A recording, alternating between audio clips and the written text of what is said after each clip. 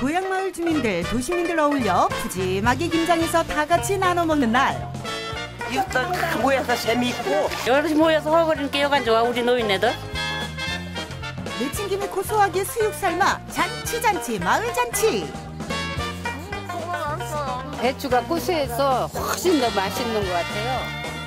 왁자지껄 우리 동네 김장하는 날 그 즐거운 현장 속으로 함께 갈까요? 증평군 증평읍 덕상 삼리 주민 대부분이 논농사 밭농사 짓는 전형적인 농촌으로 이웃 간의 우애 좋은 살기 좋은 고향 마을인데요. 그런데 오늘 덕상이 이장님 댁에 난리가 났습니다. 도시 손님들 초대해 같이 김장하기로 했기 때문인데요. 사람들 많이 올 건데 이게 한 대만 가지고 되는 게 아니고 어제서부터 준비를 다 해놨어요. 우리 몇 명이서. 하나, 둘, 셋.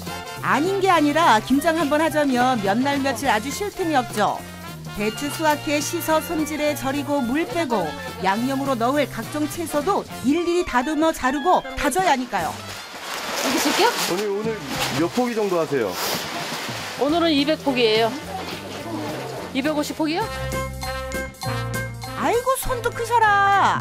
그건 그렇고 일거리가 태산인데 도시 아줌마들 어디서 이렇게 꿈지럭거리고 안 올까요?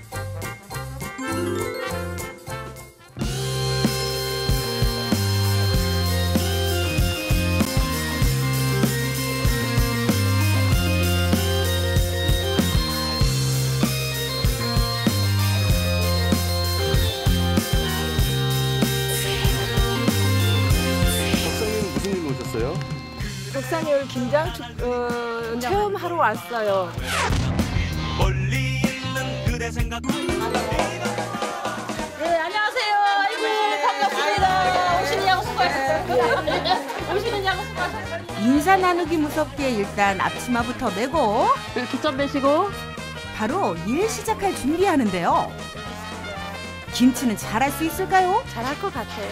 배우러 왔어요. 잘하려고 식구들 먹을 거 한두 포기 하던 것과는 차원이 다를 텐데요. 그래도 주부들이니까 해던 저기가 있어갖고 다 잘할 것 같아요. 좋습니다. 있는 손맛 없는 손맛 오늘 총 동원해 보자고요. 먼저 김치 소부터 준비하는데요. 그런데 이 동네 채소 어쩜 이리 싱싱하대요. 이게 다 덕상리에서 농사 지은 건가 보죠? 뭐든지 모든 재료가 다 우리 동네 거예요 골파도 파도 뭐 전부 동네 거 사서 이거 해는 거고요 이거 hen지가 김치 봉사하고 뭐 김치 농사 짓고 팜 이렇게 뭐에 와서 체험하고 이렇게 hen지가 4년째예요 덕상리 김치 재료만 좋은 게 아닙니다. 뭔가 특별한 비법 재료도 들어간다는데요. 바로 이겁니다. 그런데 이렇게 막 공개해도 되는지 모르겠네요. 예, 가을에 이거 봄에 심어서 잘 익은 호박을 늙은 호박을 제일 좋은 거 골라갖고 어, 3시간을 폭폭 갔어요. 그래갖고 그 우린 단맛을 요 김치에는데 넣는 거예요. 재료는 따라할 수 있지만 손맛은 흉내낼 수 없다는 게 덕상 이 부녀 회원들의 지론. 호박 삶은 물이며 갖가지 양념 공개 문제 없답니다. 이게 팍 끓어서 얘 간이 세면 안 돼. 간이 돼. 오, 오케이. 아우 맛있어 맛있어 어, 감딱 맞네 더욱이 덕상이 김치는 개인 주머니를 채우는 작업이 아닌 마을 공동 기금 마련을 위한 일. 덕상이 이름을 걸고 하는 일이니만큼 양념도 아낌없이 팍팍 넣고 정성을 다하는 거죠. 이러니 김치가 맛이 없을 수가 없습니다. 이제 기금도 만들고 또 봉사도 많이 하고 동네 독거노인들도 해다 좀 드리고 그리고 여럿이 모여서 하니까 단합도 잘 되고 일석이조이지 뭐 이래저래 좋다고 이래저래 여럿이 모여서 허거리는 게 여간 좋아 우리 노인네들 맞습니다. 여럿이 어울려 하하호호. 그 힘들다는 김장이 하나도 고되지 않은 건 누가 시켜서 하는 게 아니라 좋아서 하는 일이기 때문이겠죠. 아이고 맛있어요? 엄청 맛있어, 언니. 이게 마을에서 어른들이 하시니까 진짜 우리 거고. 그죠? 동네에서 농사 짓는 응, 농산물, 우리 농산물로.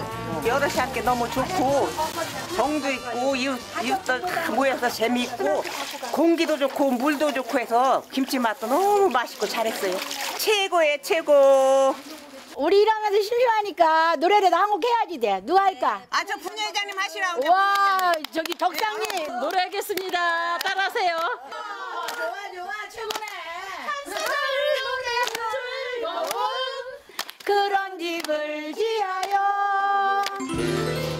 그 시간 마을 회관에서는 맛있는 냄새가 폴폴 납니다. 오늘 지금 여기서 뭐 하시고 계세요? 짐장하는데 고기살 수육 삶아서 갖다 주려고 삶는 거예요. 그럼요. 김장하는 날 수육이 빠질 수 없죠. 이른 아침부터 이장님이 읍내나가 끊어왔다는 수육거리. 아이고 맛있게도 잘 삶아졌네요. 수육 왔어요, 수육. 네. 수육 왔어요. 야요 장갑을 끼고 왔어요. 네. 네. 얼음 좀 줘봐 이모들. 아이고 맛있겠네. 아이고, 몸이 달아 상 차리고 젓가락 놓고 제대로 차려 먹을 새가 없습니다. 김장하는 그 자리에서 김치쌈 싸서 한 입. 너무 맛있었어요. 아주 이 속도 맛있고 돼지고기도 누가 삶아 이렇게 맛있게 잘 삶았네. 배도 부르겠다. 남은 작업도 야무지게 마무리. 여 김치 여간 맛있게 생겼어요. 맛있겠지요? 완성된 김치 일단 오늘 고생한 도시민들부터 꾹꾹 눌러 한 통씩 담아 챙겨주고 나머지는 어디 가져갈 때가 있다는데요. 잠시 후 김치통을 들고 나타난 부녀 회원들 독거노인 오늘 우리 김치 했는데 김치 좀 갖다 드리려고 가는 거예요. 여느 농촌이 다 그렇지만 덕상리에도 홀로 사는 어르신들이 많습니다. 할머니 계세요. 할머니 아유 집에 계시네. 김치 했어요. 들어가세요. 들어가세요. 뚜껑. 할머니 차도 산발리 해보던 거 했네. 맛있게 생겼습니다. 네. 맛있게 잘했지요? 할머니 올겨울에 맛있게 드시라고 예, 예. 저희들이 너무 감사해서 고맙기만 하지 뭐 늙은이들 이렇게 해주니까 너무 고마워요. 김장은 이 젊은 사람들도 하기 힘들잖아요. 근데 노인분들은 더더욱 이거 혼자 계신 분들은 못하니까 이렇게 한 통씩 갖다 이렇게 나누는 기쁨이 굉장히 좋아요.